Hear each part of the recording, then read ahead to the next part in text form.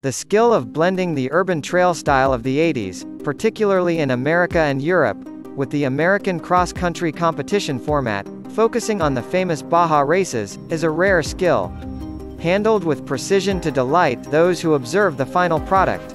This was the case with the famous Oberdan Bezzi, a restless Italian who was also affectionately known by the nickname, Obiboi.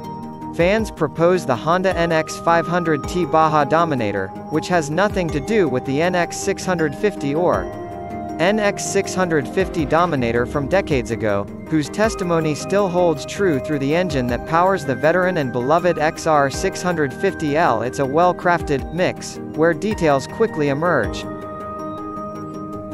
Looking closer, practically nothing remains of the large NX, only the red color, graphics and gold Dominator rims, although the shape of the plastic sides of the fuel tank and both fenders are inspired by the NX.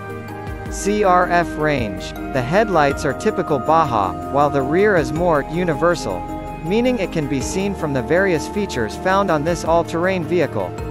We also see a classic inline two-cylinder engine set up with aluminum and CB500 spokes to carry tubeless tires and disc brakes activated by Brembo calipers, the front of which is radially anchored.